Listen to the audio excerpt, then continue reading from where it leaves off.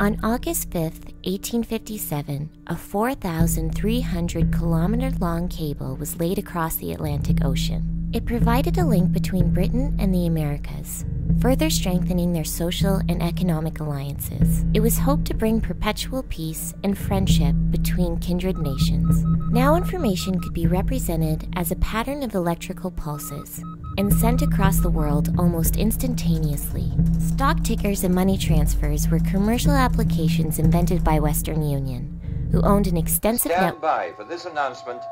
Germany has invaded Poland and has bombed many towns.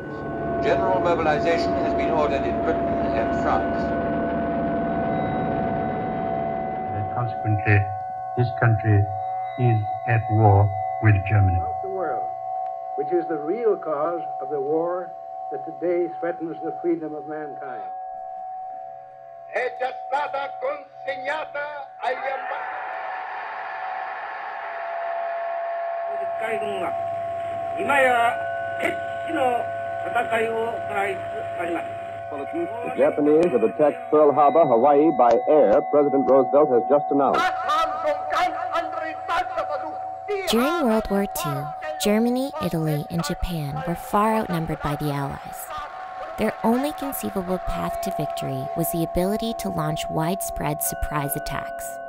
So it was necessary to issue commands encrypted with the strongest possible cipher. The goal of encryption was to automate the one time pad using an encryption machine. Ideally, this machine would accept an input letter, apply a random shift, and output the encrypted letter. However, this requires a machine that can automate a random sequence. All machines follow the same principle. They begin in some initial configuration known as a state.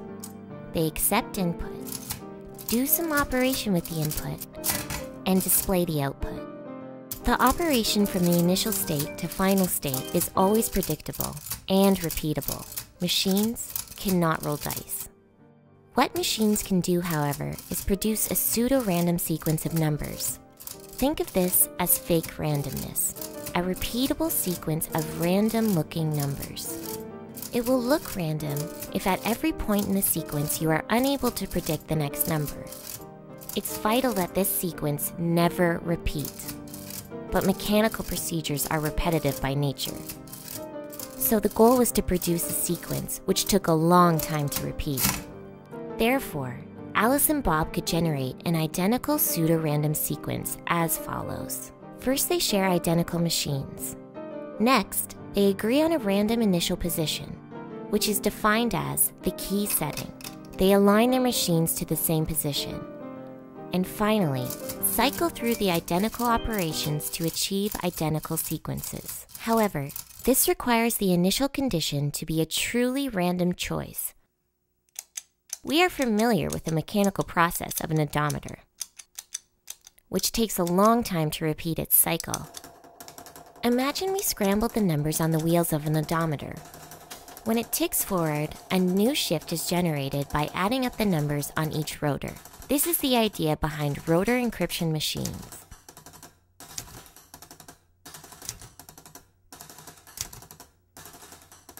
For example, the message attack northwest would be encrypted as follows. Notice how a new shift is used at each position in the message. With three wheels, each with 26 numbers, the length of the sequence before repeating is 26 times 26 times 26. This is equivalent to having a pseudo-random list of shifts 17,576 numbers long. Each rotor position is equivalent to a location in this sequence. The initial machine state is known as a key setting. The collection of all possible key settings defines a key space. This key space increases if the number of ways to initially configure the machine increases. For example, if the rotors can be rearranged, the order can be selected in six ways. Now let's visualize the key space of this machine. First, we can choose from one of six possible orderings. Then we can select an initial position from the rotor sequence. This gives us a key space with over 100,000 key settings. Realize that every machine configuration is a point in this space. When we select a key setting, we are selecting a starting point in this space, which determines the rest of the sequence. Give away the key setting, and you give away the sequence. The security of rotor machines depends on both the size of the key space and the randomness of the key setting. During World War II, one of the important technologies used by the German military was known as the Enigma. It was an electromechanical rotor machine invented by a German engineer at the end of World War I. Each rotor wheel had electrical contacts on either side with a maze of wirings within. At each rotor position, there was an electrical path from the input letter to the output letter.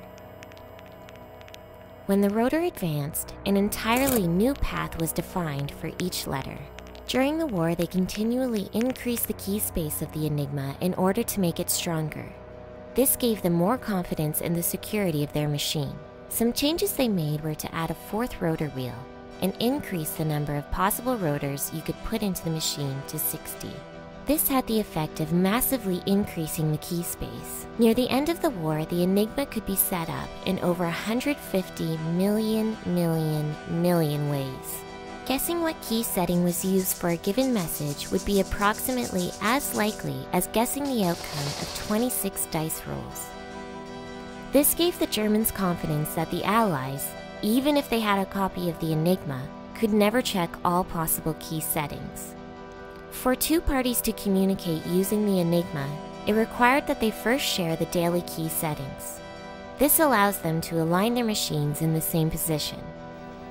This protocol changed over the war, but generally involved distributing key sheets in advance to all operators. Each day, the operator would cut off the daily settings. This would tell them the daily configuration of the machine, such as what rotors to use and the order of the rotors. Then this setting was to be destroyed after use.